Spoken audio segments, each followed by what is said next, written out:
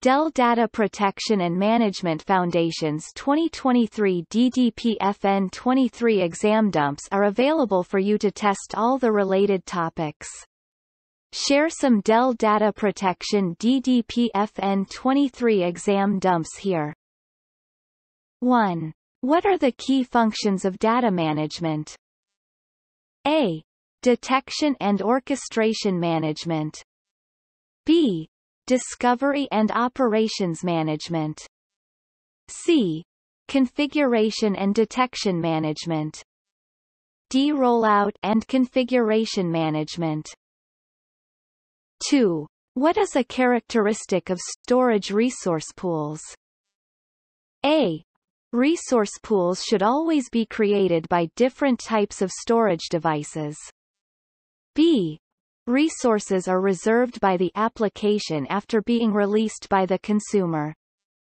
C. Resources are dynamically released to the pool when the consumer exceeds their quota. D. Resources are dynamically allocated based on consumer demand.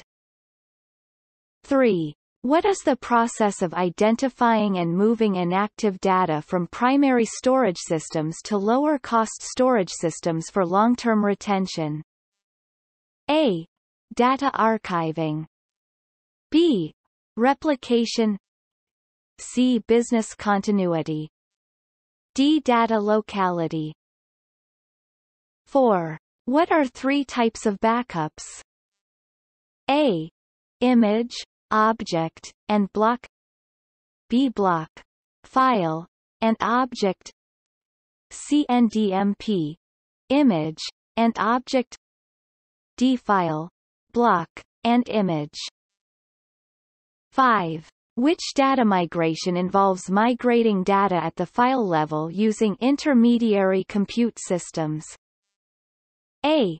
Host-based migration B NAS-based migration C SAN-based migration D application migration 6. What is a characteristic of data archiving? A. Secondary copy of data. B. Primary copy of data. C. Short-term retention. D. Used for operational recovery.